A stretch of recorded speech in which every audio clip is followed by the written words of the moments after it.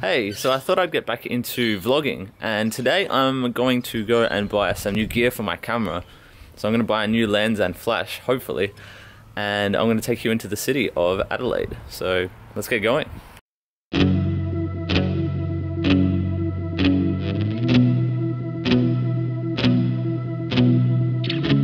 It's just starting to get colder in Adelaide now, and uh, I actually haven't had a winter for about one and a half years or so because you know Vietnam doesn't really get very cold so not looking forward to winter but hey get to wear some different clothes I guess.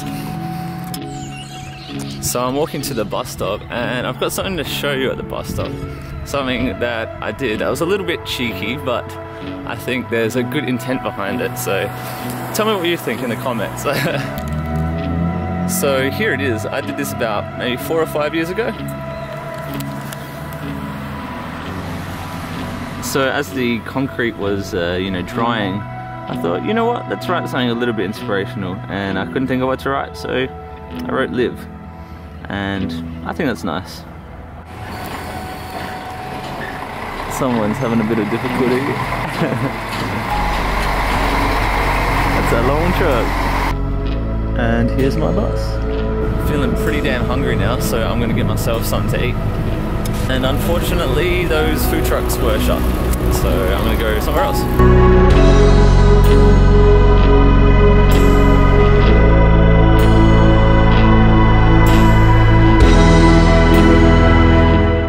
This is where I'm gonna go later to find some camera gear but first to my favorite place to eat which is Zambrero's vegan burritos are a true blessing.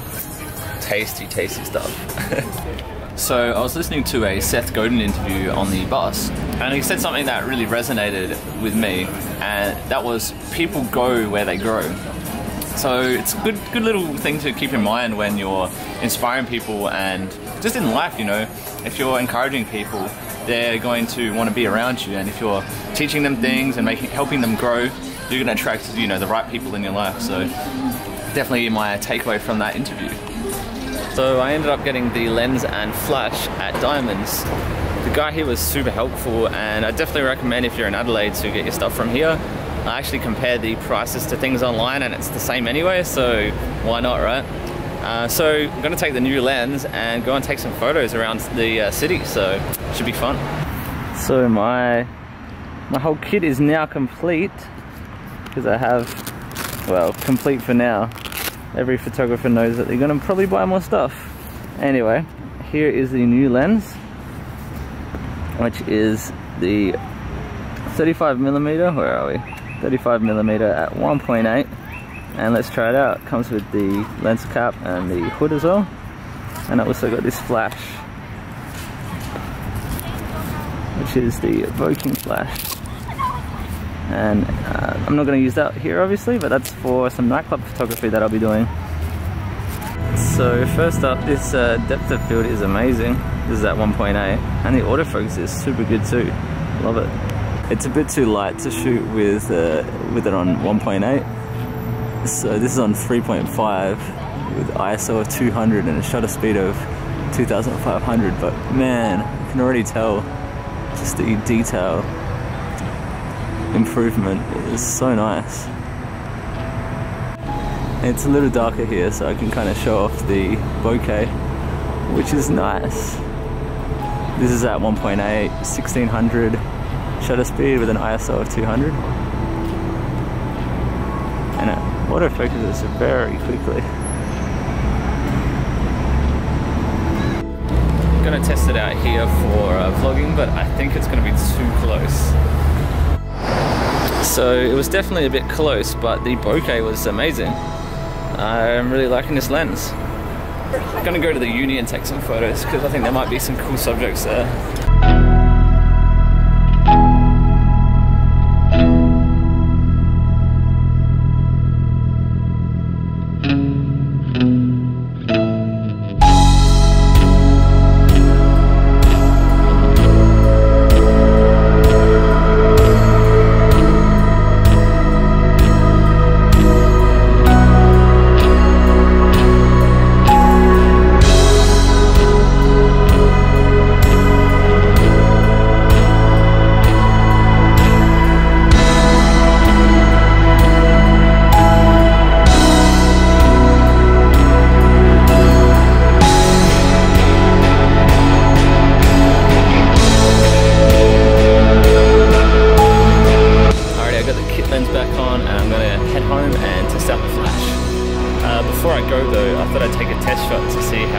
two camera uh, to see how the two lenses do the same photo, so we can compare the two and see how much of a upgrade it is from the kit lens at 35 millimeters.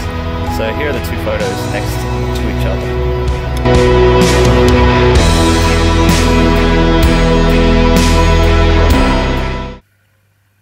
So this is the flash, evoking Speedlight VK360. And it's cool because it's got three uh, LED lights for video mode as well. So that's pretty cool. So I think I'll leave the video there. Thanks for watching and look forward to new vlogs. I will be vlogging a little bit more regularly now. So thank you for watching again. See you later and have a good day.